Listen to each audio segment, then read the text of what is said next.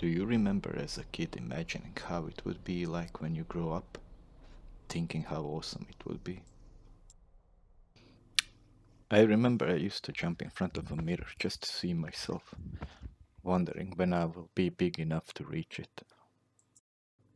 I was a kid that collected comic books, loved dinosaurs, and was obsessed with the fantasy stories. I spent most of my days imagining worlds and heroes, constantly drawing them. Just a regular kid with an irregular childhood. See, the worlds I would imagine were my way to escape reality. But in truth, reality was far from it.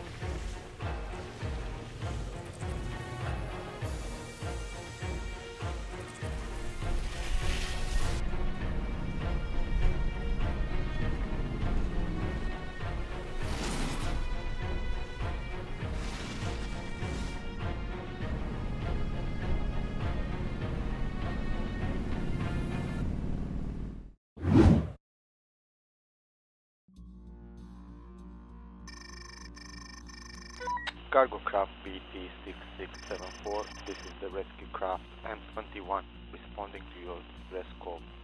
Please respond.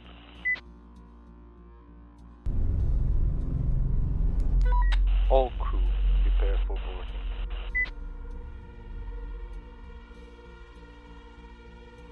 Uh, Captain, I found a crew member. Captain DeFrank, what is the situation? I'm not quite sure, Captain.